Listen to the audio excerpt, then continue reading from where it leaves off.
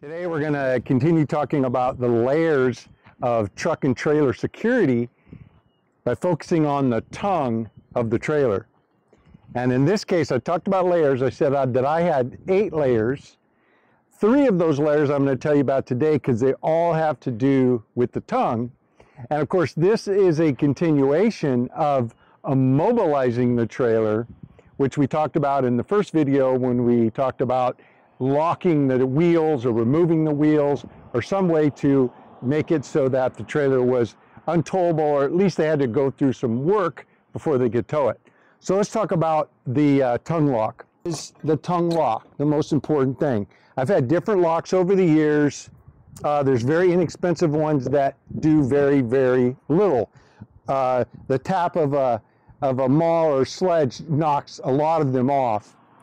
This one this this uh, vault, this coupler vault for Mega Hitch. By the way, any of the stuff that I have, if it's still available, I've had most of mine for a long time. I'll put it in Ron's store at my website, which is thesmartwoodshop.com. Link in the description of the video down below. So this is uh, a fairly high-end tongue lock. It's got one of those keys. In fact, let me grab it.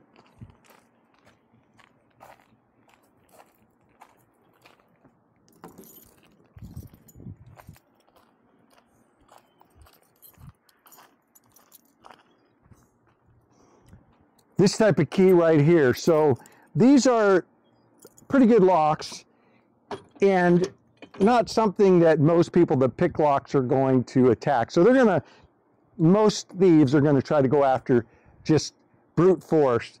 So you're not going to, you're not going to probably knock this off with a maul without a lot of work.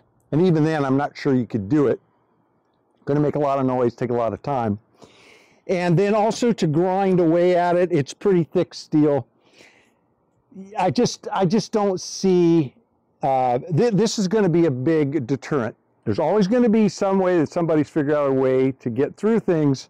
But again, we're layering this, we're making each thing just a little bit harder. So these are this type, and there's other brands out there. They are more expensive, but they're worth the money. They're just going to make it tough. And by it being loose like this, that's what makes it hard. You can't really get a crowbar and try to pry it. Another option you have is to just put a lock on your tongue lock, but again, that's usually pretty small. You can certainly add it as another layer, but it's not going to slow them down very much because just about any lock you can fit in there, they're going to be able to get with bolt cutters. So not going to take a lot of time. Usually a tool they're going to have with them, and it doesn't make a lot of noise. The second layer on the tongue is the chains. I have seen where uh, some thieves can take the tongue, if it's got a tongue lock like this, they can get it kind of uh, mounted up on or at least resting on top of their, their hitch or their bumper. And then they'll take the chains and chain them, kind of wrapping them around and then chain them. And that'll sort of cradle the tongue and they can they can carry it a ways um, pulling it. So you want to make it so the chains are at least harder to use. Now in this case I have just a lot that's a high quality lock but this lock uh, could be cut with large bolt cutters. These are the, the medium to small ones aren't going to do it. This is one of those hardened locks. Now they do make tongue locks that you can actually wrap the chain into them and it locks the chain. But again, uh, the, the, the uh, chains themselves are the weak point. They can be clipped. The good news is if they clip them, they're going to be making the chain shorter. So they're probably going to have to bring uh, a, ch a, chunk of chain and a link. So that's something they can get around, but hey, just slow them down just a little bit more. The third layer on the tongue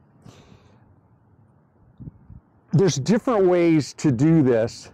I have purchased this uh, trailer valet tongue uh, jack and it is powered. So it, there's a handle it comes with. You can crank it manually, but the handle pops off. I like this for a lot more than just uh, security. I like it because it's fast for me to put my drill on this with the adapter that came with it and run it up and down very quickly so I'm not cranking and cranking. But by having the handle not here and not having that attachment, it's going to slow them down. They don't just have a handle they can crank. They're going to have to, um, you know, put a vice grip on it or something and spin it. So they're going to have to have the tool and they're going to have to work at it. And it's just going to slow them down a little bit more. And if they don't know they're going to deal with this, uh, they could come and, you know, just sort of abandon it just because they, they don't have what they need to raise this up and down. The, the, by far of these three, the most effective is the tongue lock, and it's where I'd put your focus, but you might as well throw these other things on. If, if you don't have this uh, jack, and by the way, this is at my store too. I put it there years ago when I got it. Um, then you can look at another option, possibly maybe the handle that you have, maybe you can remove it and have it so that you have to slip a bolt in. So at least, uh, again, you're not leaving it just right there for them to grab. Now, the best tongue security that I've ever seen, that I had, in fact, on one of my trailers, is to have the tongue removable. Uh, I had a trailer with a long, a six foot tongue, and it kept getting in my way and it had a door on this side, and we were having to step over the crew, and we're tripping on it, hitting our shins on it. So, just for being practical, it didn't have to do with security. I took it into a trailer shop. I had them cut that off, weld on a sleeve, and then we're able to slide it in and had these long bolts that went through and locked on. So it was safe, done proper.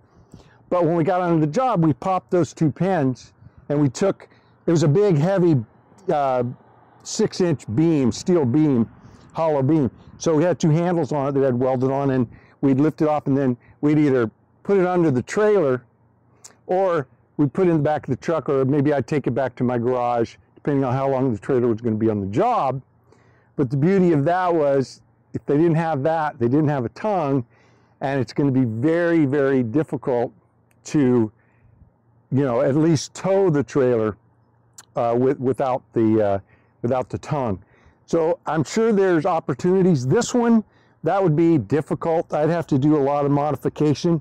Um, and uh, I have seen boat trailers where not for security reasons, but because they want to get it in a garage and it sticks out too far, that they have them hinged and then the tongue folds back to make it shorter. And I would assume that a hitch like that um, could could have a removable section. You just want to be careful and do it right because you don't want that coming unhooked when you're driving it down the road. Most of us, this is what we're going to have, some version of this.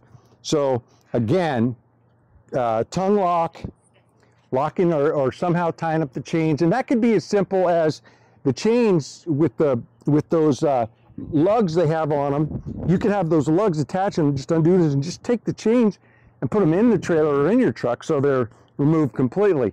So there's a number of ways you can do it. But again, layers, the goal here is to slow them down. If you're enjoying these videos, if they are helping you out at all, then be sure to give me a thumbs up. Subscribe if you have a chance. Also, if you want to build a smart wood shop yourself or one of my workbenches, there's a link in the description of this video down below where you can go purchase a set of plans, and download them instantaneously 24 7 365. Mahalo.